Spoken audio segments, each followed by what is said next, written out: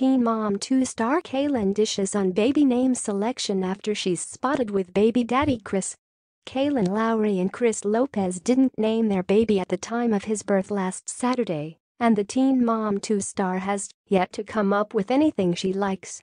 During a new interview with Radar Online on August 10, Kailyn Lowry said that while she had a number of names in mind prior to welcoming her third child, none of them seemed to fit her baby. Now, she's struggling to come up with any more options. We don't have a baby name at all, and we don't have any ideas either, Kailyn Lowry told Radar Online of herself and Chris Lopez. According to Kailyn Lowry, her fans on Twitter have tried to help her come up with something and suggested several names, including Murphy, Ripken, Griffin, Nixon, and Silas, but she isn't open to any of them at this point. As she attempts to figure out the perfect name for her baby boy, she's calling him Baby No Name and Baby Low. Although Kailyn Lowry is struggling to pick a name for her child, she's thrilled to be a mother of three boys.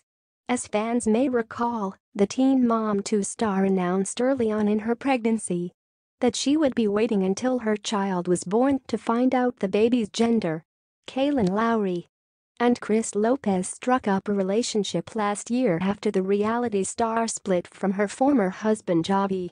Shortly after Lowry discovered she was expecting her third child, the couple called it quits. As fans heard during a recent episode of Teen Mom 2, Chris Lopez refused to take part in filming allegedly because he didn't want the other women in his life to know about Kailyn Lowry or their relationship.